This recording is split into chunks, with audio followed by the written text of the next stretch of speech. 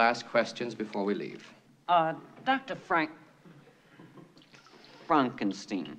Yes? Isn't it true that Darwin preserved a piece of vermicelli in a glass case until, by some extraordinary means, it actually began to move with a voluntary motion?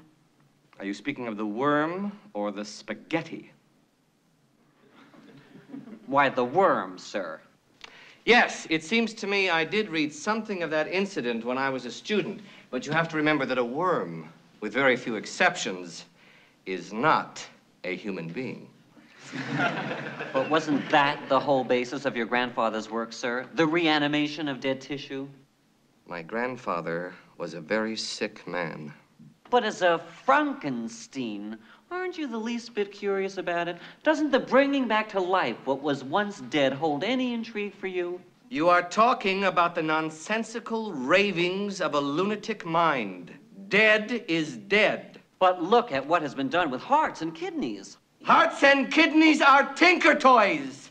I'm talking about the central nervous system. But, sir, I am a scientist, not a philosopher. You have more chance of reanimating this scalpel than you have of mending a broken nervous system. but what about your grandfather's work, sir? My grandfather's work was doo-doo. I am not interested in death. The only thing that concerns me is the preservation of life.